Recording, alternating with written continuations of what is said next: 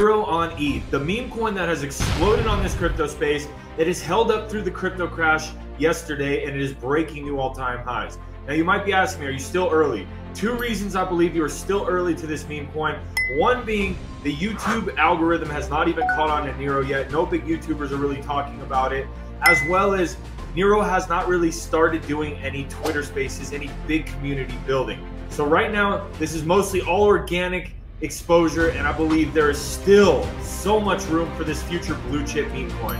All right, guys, here is the chart of Neiro on ETH. Currently sitting just under a $200 million market cap.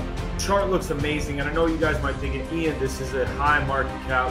However, I wouldn't fade something like this when it is literally the next Doge in real life. Imagine getting into Doge at a $200 million market cap.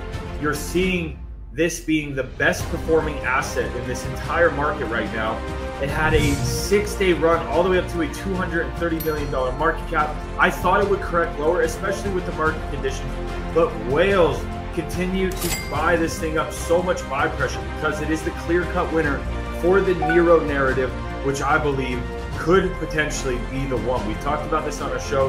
We think the top performing highest market cap coin, biggest meme coin, had not launched yet. We said sometime after the halving, four to five months, sometime in that July, August area, and then Neiro has exploded and it's done so well, even with the market conditions being the way they are. We still haven't even seen an Elon tweet, which I believe is coming.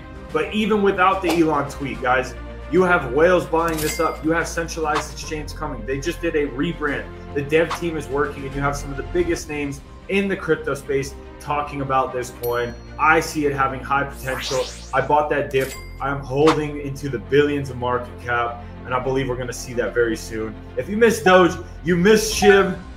Don't miss Neiro, guys. Check them out. Not financial advice. See you on the next video.